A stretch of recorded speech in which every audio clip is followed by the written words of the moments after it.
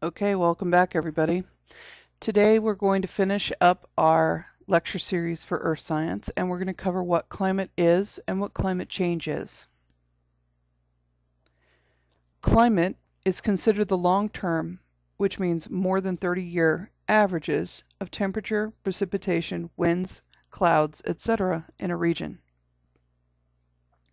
A climate region is a large area that has similar conditions, and two main factors are used to describe the regional climate temperature and precipitation. A region's temperature is influenced by its latitude, altitude, and distance from large bodies of water. Latitude means the distance from the equator.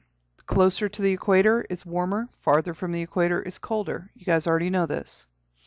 Earth's surface can be divided into three temperature zones the tropical, two temperate zones, and two polar zones, and you can see them highlighted here. Altitude is the height above sea level.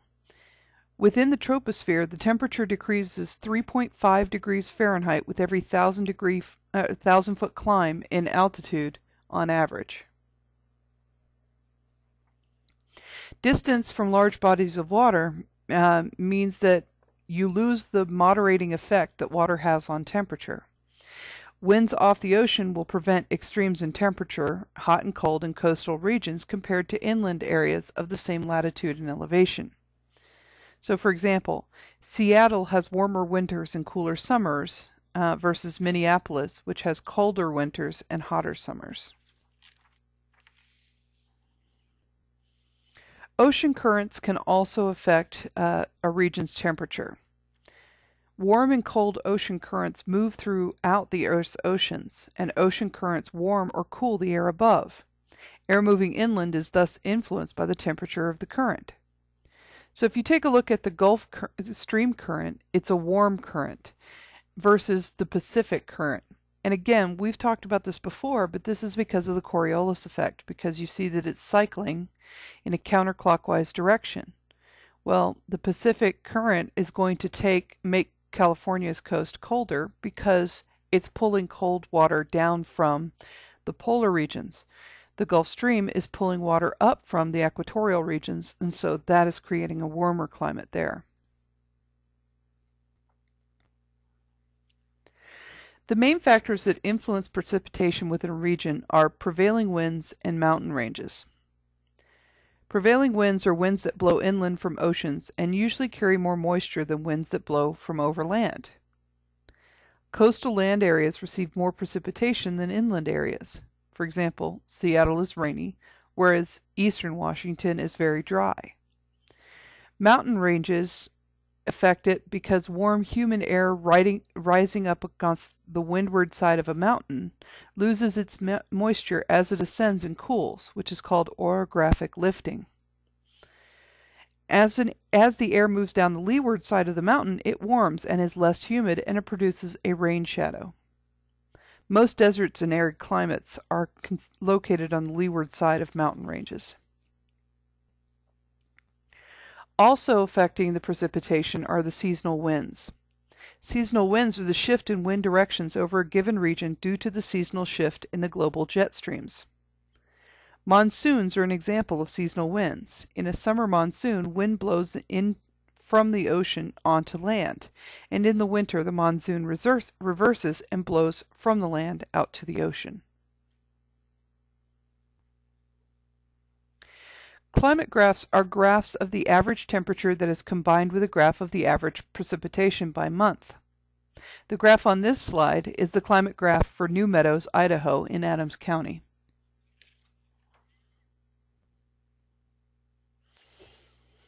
Climate re regions are classified according to the combinations of temperature and precipitation.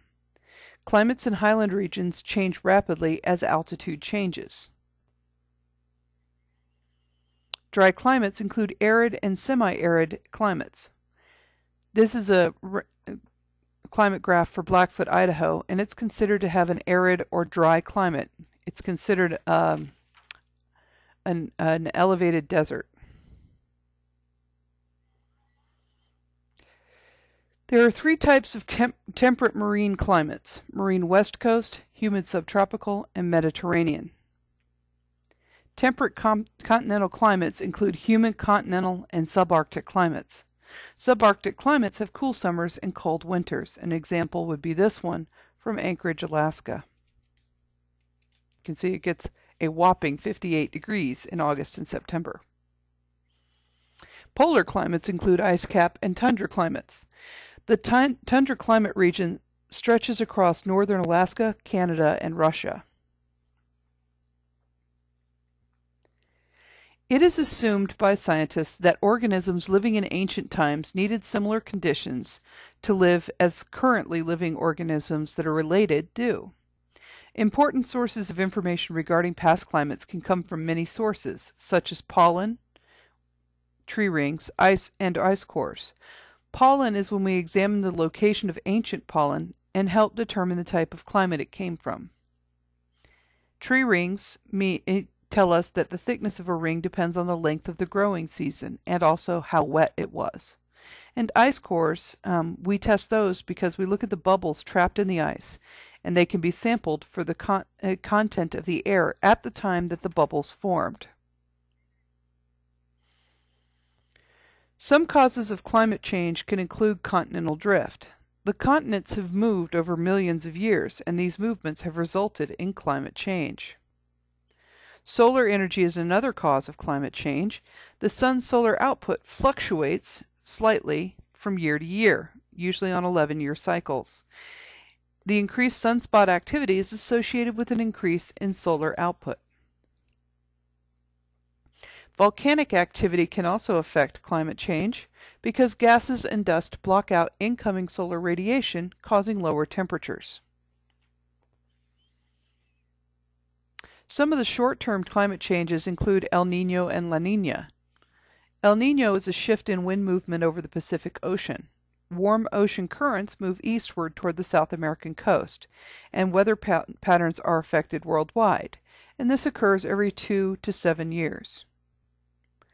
La Nina is winter changes, and surface waters in the eastern Pacific are colder than normal, and climate changes are usually the opposite of that of El Nino.